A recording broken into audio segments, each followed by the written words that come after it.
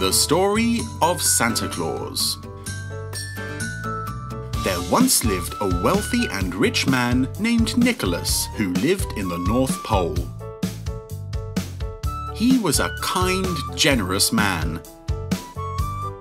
Nicholas enjoyed surprising people and he often did things to make others happy.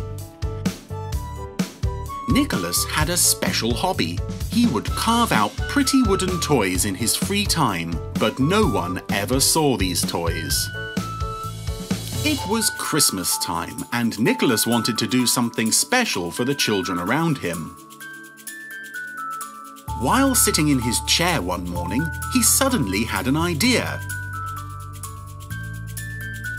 Nicholas was going to carve many beautiful toys for all the little boys and girls' Christmas presents he would go climb up the chimney of all the houses and drop presents into the stockings that hung near the fireplace.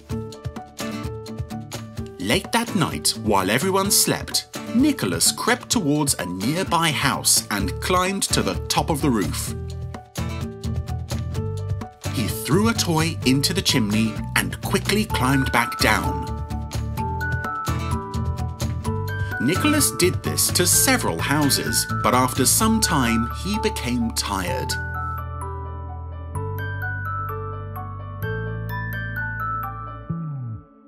He quickly went back to his house and pulled out his sleigh and tied them to his reindeers. Nicholas set back out into the snow and cold, but not for long. His sleigh got stuck in the snow.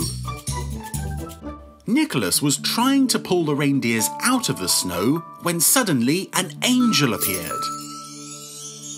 The angel said, Nicholas, you are a good man and I want to help you.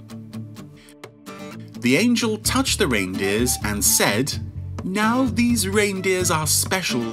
They will be able to fly the angel then waved her hand and a group of small elves appeared.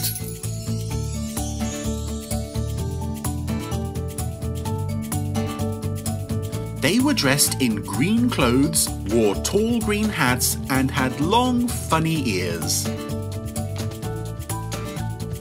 They will deliver gifts and bring happiness to many children.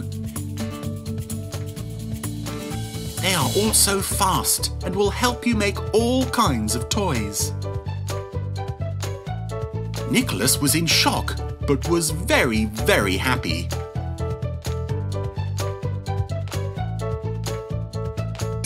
Everyone got into the sleigh, and with one shake of the ropes, the reindeer took off into the sky, flying high to spread Christmas love and cheer.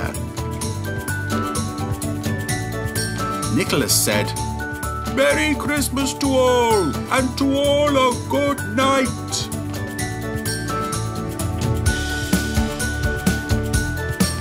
The next morning, the children woke up and ran to the fireplace. They pulled off the gifts from the stockings and screamed with joy.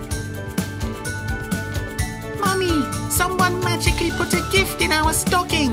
It's a beautiful toy. And that is the story of how Nicholas became Santa Claus. He now is the man we know on a Christmas long ago.